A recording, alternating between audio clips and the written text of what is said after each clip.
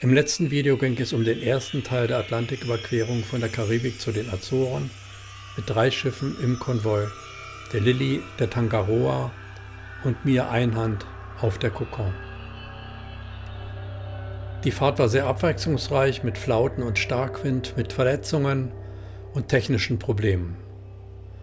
Am Ende flüchteten wir fünf Tage lang vor einem aufkommenden Sturm der sich kurz nach unserer voraussichtlichen Ankunft auf den Azoren genau über uns hinwegziehen sollte. Glücklicherweise haben wir es geschafft, pünktlich vor dem Sturm in Horta anzukommen.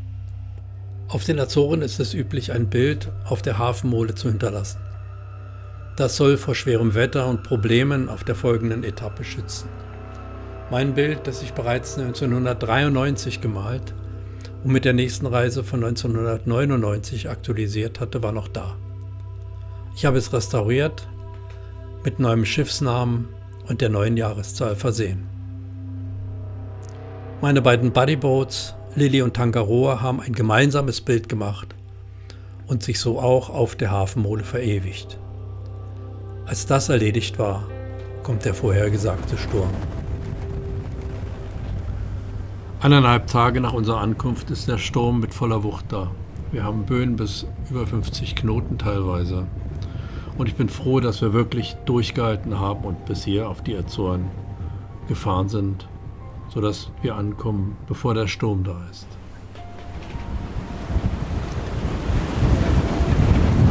Also im Moment kocht hier das Wasser. Wir hatten fast 50 Knoten Wind, würde ich sagen. Jetzt ist Wasser geflogen. Helene gerutscht.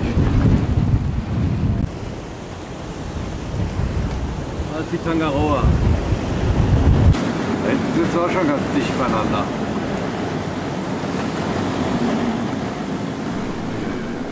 Während Lilly und ich weiter nach Portugal fahren, wird die Tangaroa ihren Kurs Richtung englischen Kanal absetzen.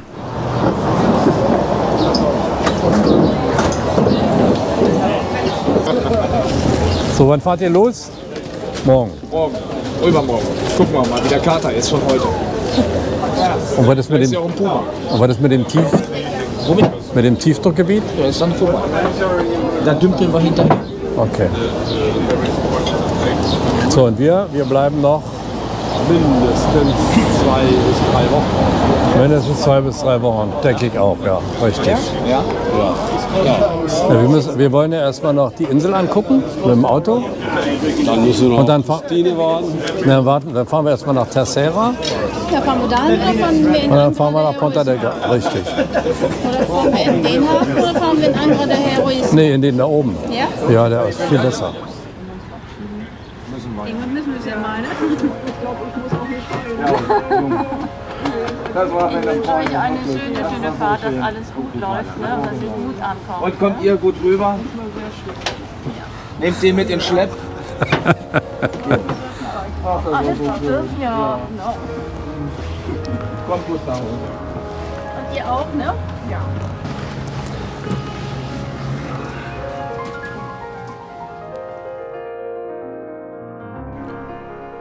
Tangaroa macht sich auf den Weg nach Deutschland, während wir, das heißt die Lilly und die Cocon, wir bleiben zunächst noch auf den Azoren, schauen uns ein bisschen die Azoren an und fahren dann Richtung Portugal.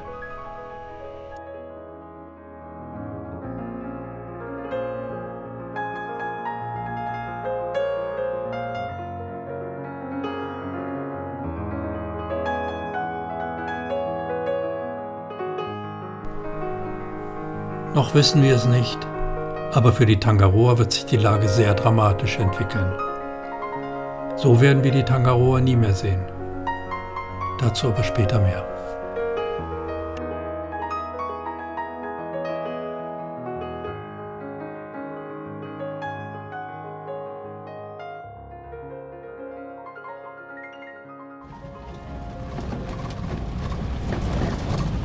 Wir besichtigen am nächsten Tag die Insel zusammen mit einem Fahrer, der uns die wichtigsten Sehenswürdigkeiten zeigt. So, das ist das alte, der alte Leuchtturm, zerstört durch das Erdbeben in 1998.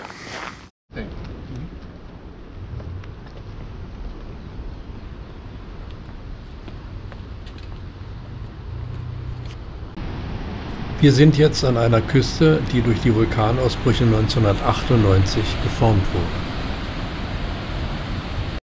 In die Lava wurden Becken eingelassen, die durch das Seewasser geflutet werden. Schwimmbecken in einer bizarren Natur.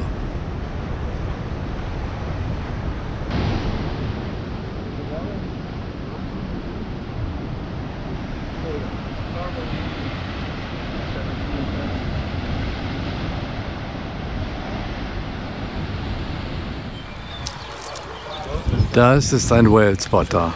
Das ist ja interessant.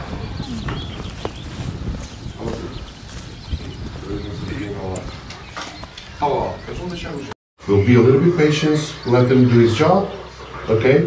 And see if he finds the whale. If we're lucky, he will find the whale. He'll let us see, okay? Aha.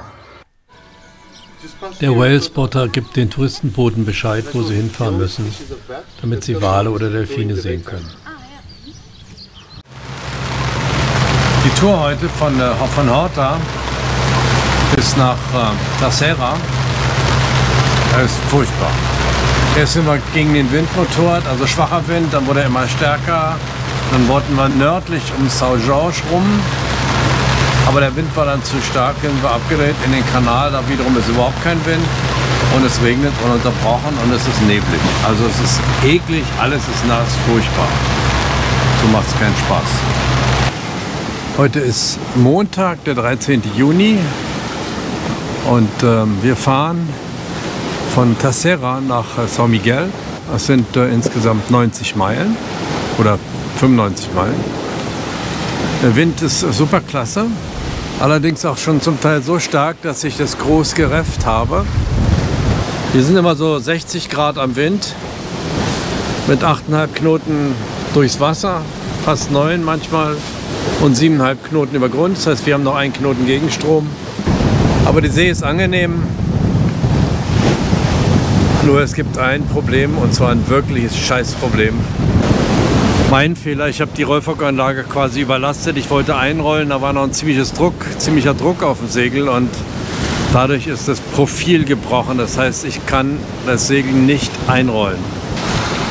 Das Problem bei dieser Geschichte ist natürlich auch, dass ich die nicht, äh, die Genua nicht teilweise wegrollen kann. Das heißt, wenn der Wind zulegt, und das macht er manchmal, jetzt aktuell haben wir 18 Knoten, aber manchmal haben wir auch 22, dann kann ich es nicht wegrollen.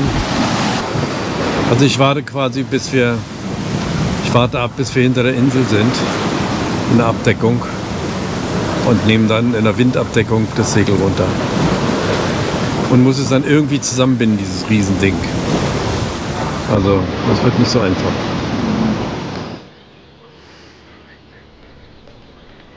Auch in São Miguel machen wir mehrere Fahrten mit Führern über die Insel. It's the lake of fire, which uh, the, lake of seven cities. I'm sorry, uh, which to date not It was? Only for half a day. What it means, Colette Caldera? It means initially all of this was a mountain, a super high mountain that collapsed inside the empty magma chamber where the lava came from. It's called the lithostatic pressure.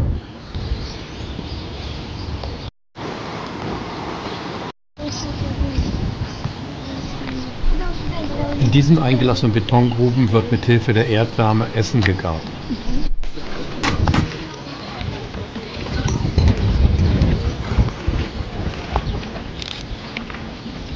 Da wird das Essen gekocht in den Vulkanlöchern.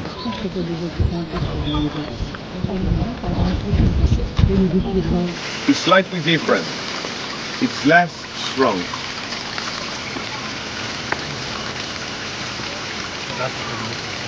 It's still with the iron flavor, but not that super strong.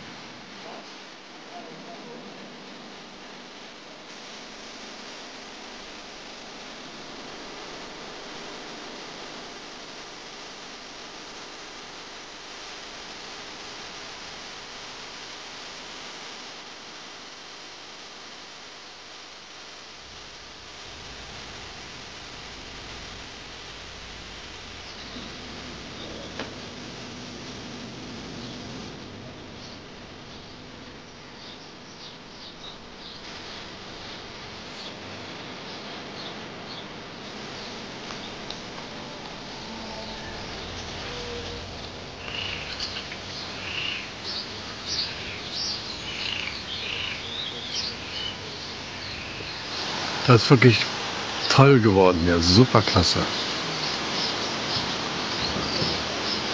Hier unten auch. Zum Sitzen. Sehr schön. Was ist da drin?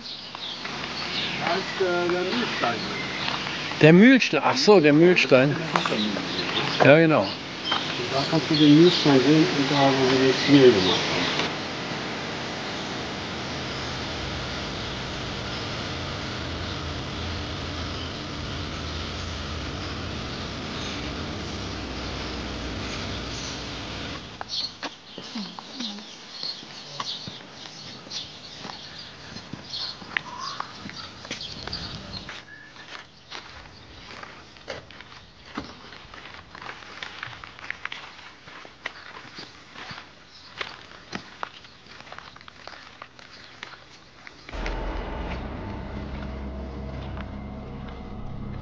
Hier auf São Miguel erreichen uns dramatische Nachrichten. Die Tangaroa ist kurz vor Frankreich nach einer Kollision mit einem unbekannten Objekt gesunken. Mark und Karen können per Helikopter abgeborgen werden. Ihnen ist zum Glück nichts passiert. Aber alle Erinnerungen versinken im Atlantik. In einem Podcast berichten sie von ihrer Reise und natürlich auch von dem Schiffsuntergang. Der Link zu dem Podcast ist unten in der Videobeschreibung zu finden. Für uns geht es trotz dieses tragischen Ereignisses weiter. Für dieses letzte Stück bin ich nicht allein an Bord. Christine ist gekommen, um mich für dieses Stück zu begleiten. Wir fahren mit Nordwind Richtung Portugal, halten uns zunächst weit nördlich des Cap São Vicente, um bei der Annäherung an Portugal abfallen zu können. Dort erwarten uns zunehmend wesentlich stärkere Nordwinde und die möchten wir nicht hoch am Wind abbekommen. Wir fahren schließlich durch bis Portimao, unserem Lieblingshafen seit einigen Jahren.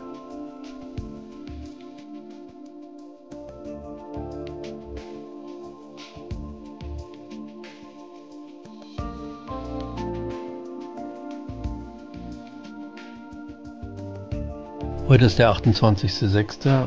Das ist der vierte Tag nach unserer Abreise in Richtung Festland Portugal. Wir haben recht schwachen Wind aus Nord wir sind immer so sehr hoch am Wind, so um die 60 Grad am Wind. Tolle Bedingungen, um hier rüber zu fahren nach Portugal. Neben der großen Genua haben wir auch das innere kleine Vorsegel gesetzt. Das ist fast ein Sturmsegel, weil wir ähm, damit rechnen, dass in dem letzten Abschnitt und in der letzten Nacht äh, sehr viel Wind kommt und wir vermutlich dann ähm, die Genua wegrollen und nur mit dem kleinen Vorsegel segeln und stark gereiften Gruß.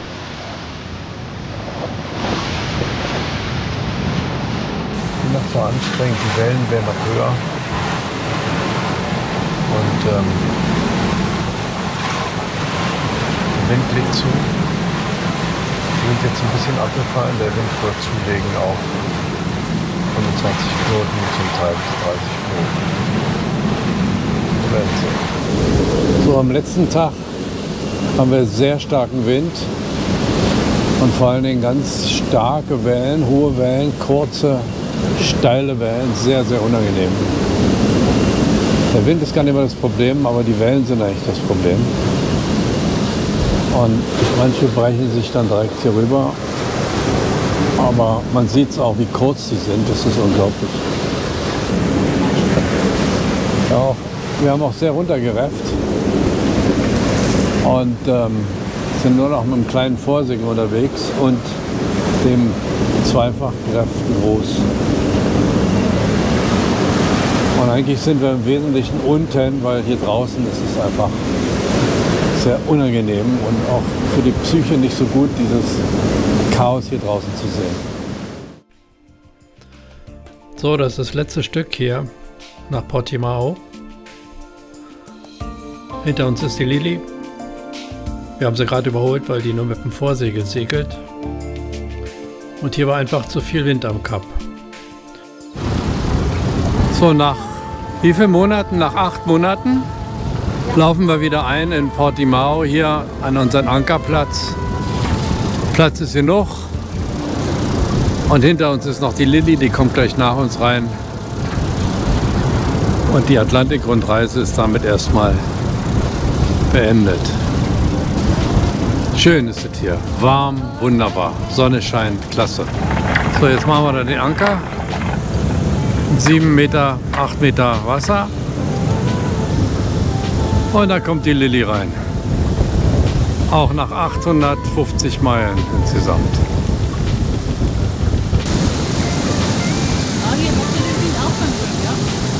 Bitte? Hier merkt man den Wind auch, aber nicht so wie am Kap.